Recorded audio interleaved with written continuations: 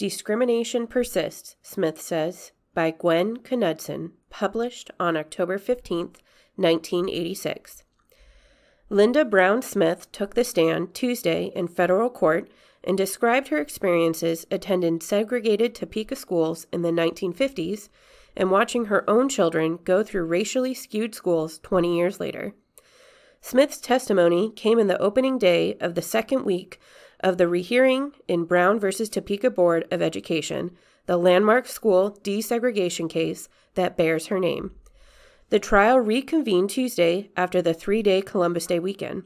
I didn't have a feeling of inferiority until I attended junior high school and realized what an integrated school was, Smith testified. Smith said that she had trouble relating to the other students after being isolated in all black elementary schools.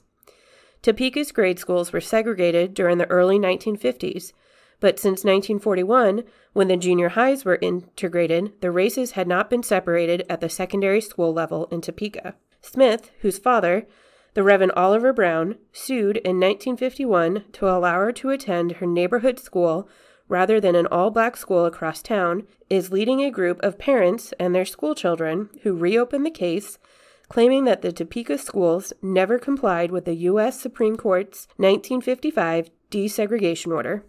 Smith, 43, offered her 30 minutes of testimony during her second appearance at the trial since it began last week. She testified over the standing objection of attorneys for Topeka Unified School District 501 and the State Board of Education, who contended that witnesses should not be allowed to rehash events that had been part of the previous Brown litigations.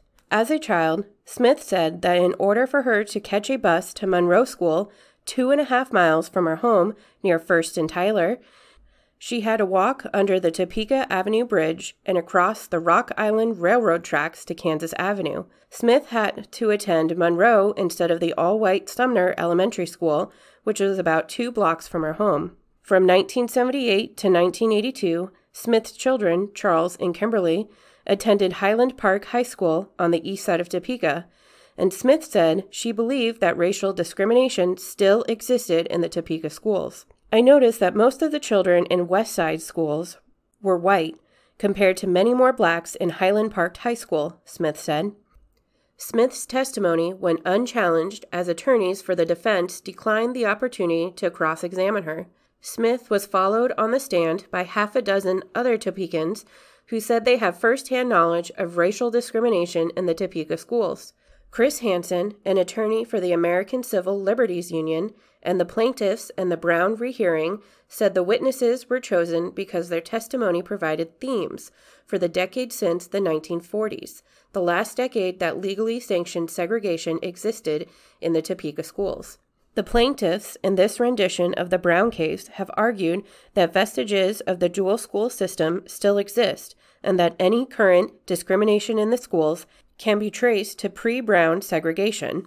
James Gilbert, who served during the 1950s as principal of Pierce School, an all black school that was brought into the Topeka school system with a 1958 annexation action, described his own difficulties finding a practice teaching assignment in the segregated school system, as well as inadequate and cramped conditions at Pierce.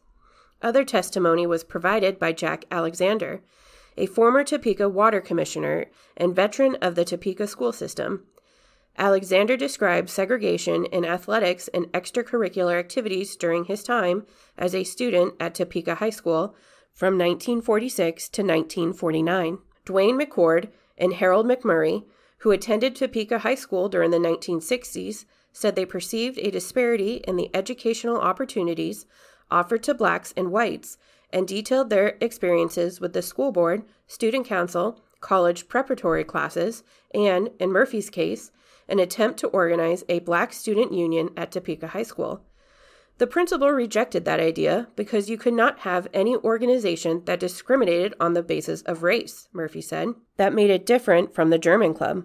Under cross examination by USD 501, attorney Charles McAtee, Murphy said the principal permanently suspended him from Topeka High School for his efforts to increase black awareness at the school. He claimed I continually upset the education process at Topeka High School asking for things like black cheerleaders, an equal vote, plays that presented the black perspective, Murphy said.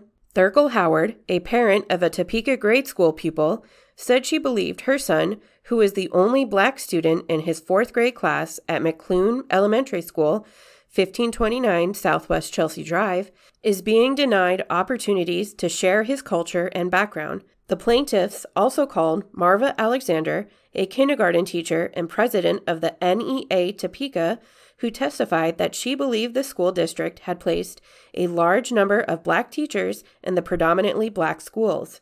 Alexander said she believed this was an administrative practice and is not the result of any policy stated in a teacher's contract.